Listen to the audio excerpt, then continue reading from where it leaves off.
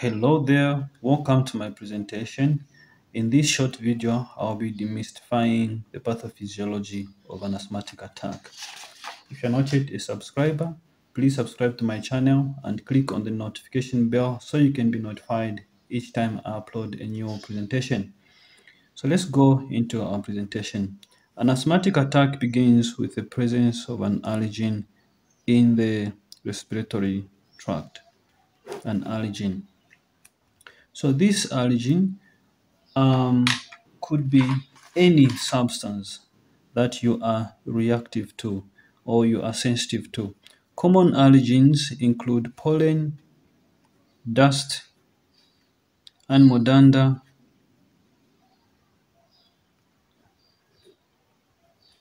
etc etc okay these are common allergens so the presence of any of these will uh, lead to what we call a hypersensitivity reaction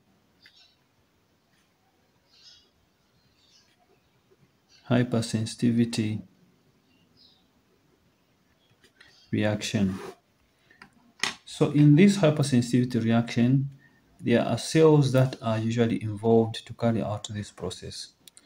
This, the following are some of the cells. We have dendritic cells. You need to know what these cells do or the functions of these cells in this hypersensitivity reaction. Though in this video, I will not be explaining the details of what these cells do. Mast cells, neutrophils, eosinophils,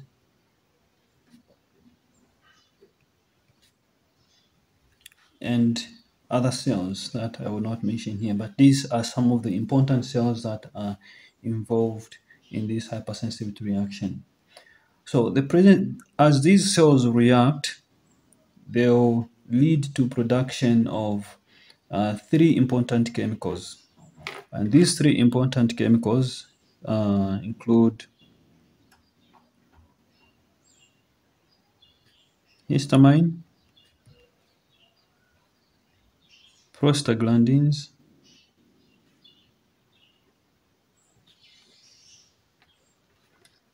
and leukotrienes.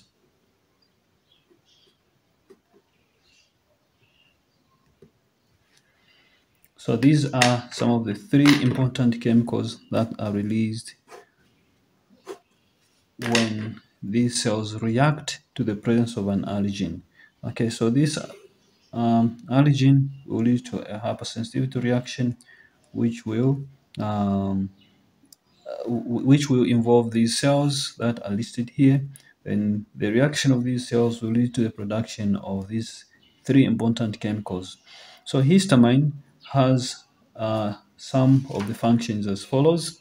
It leads to smooth muscle smooth muscle contraction. These are muscles um, in the bronchioles or the airways. They, co they contract. Then also it leads to vasodilation. Vasodilation.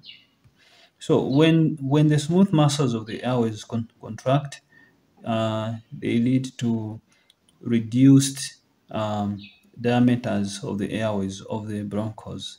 So um, yes, they lead to reduced uh, diameters of the bronchos or the airways.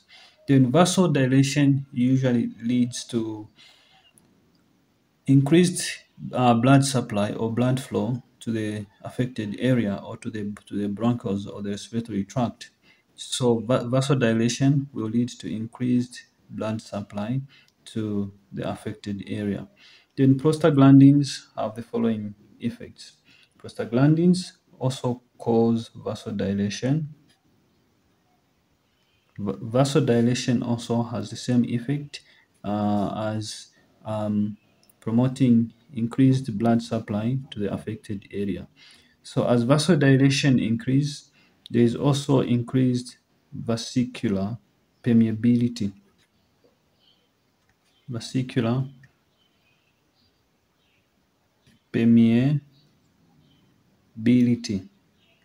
right? So this means that the blood, the blood vessels lining the bronchus or the respiratory tract um, begin to release plasma or uh, fluid from the blood. So there is um, what we call edema takes place because uh, these fluids that are escaping the blood vessels they tend to accumulate in the interstitial spaces of the smooth muscles.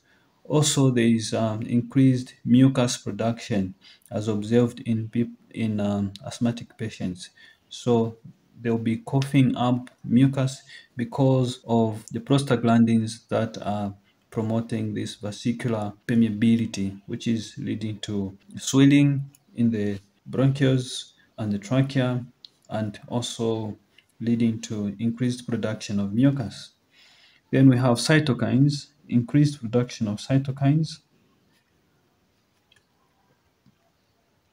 Cytokines, these are proteins, small proteins that are released by uh, cells. They act as intercellular messengers, so they transmit information from one cell to another cell, uh, thereby recruiting many cells or more cells into this hypersensitivity reaction. Okay.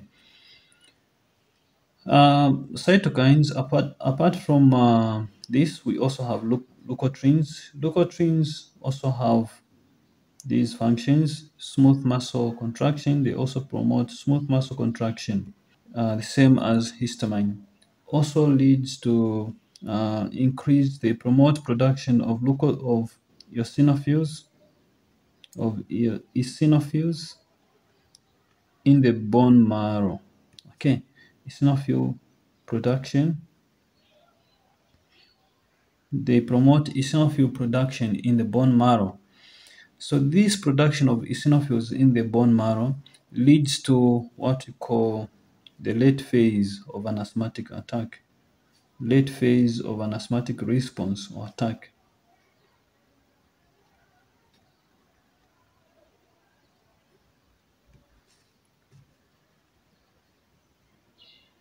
So the, the production of eosinophils in the bone marrow leads to the late phase of an asthmatic attack or response. All right, so the reaction of these three chemicals usually leads to uh, three cardinal effects, which we collectively call the triad. And um, these lead to the signs and symptoms uh, that are usually observed or seen in people with an asthmatic attack. And these are the responses or the, the effects that um, come about as a result of the reactions of these three chemicals. So we have what we call inflammatory response. Um, if you have read on inflammation, of course, you know the four cardinal features of inflammation. One of them is swelling, there is pain, there's redness.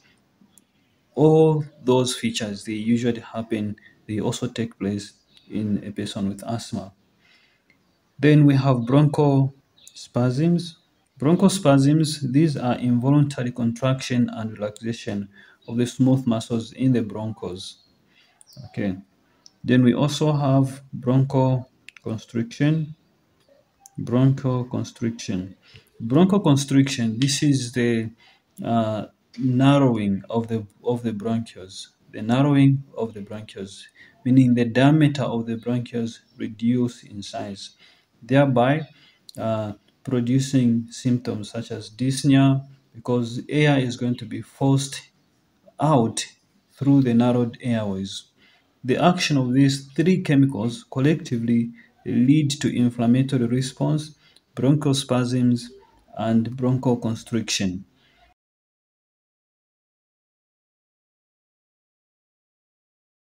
Then uh, these three effects, they are the ones that produce now what we call the asthmatic attack. They lead to asthmatic attack. These three lead to an asthmatic attack producing all the signs and symptoms of an asthmatic attack.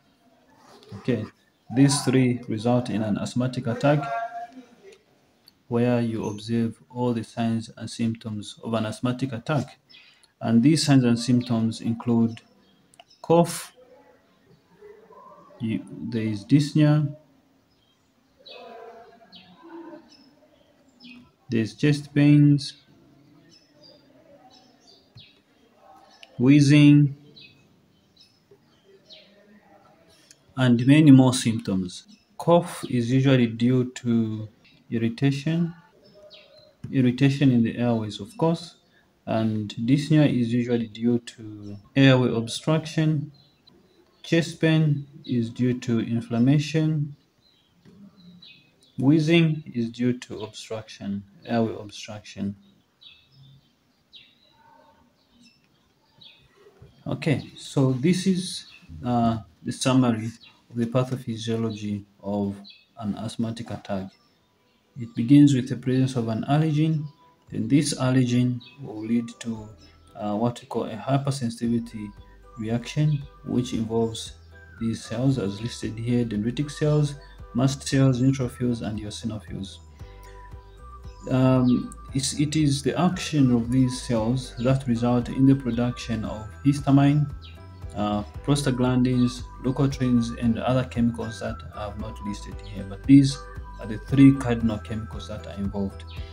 And now the reaction of these chemicals result in three responses, three cardinal responses called inflammatory response, bronchospasms, and bronchoconstriction. It is these reactions now that lead to an asthmatic attack, resulting in these signs and symptoms. Thank you.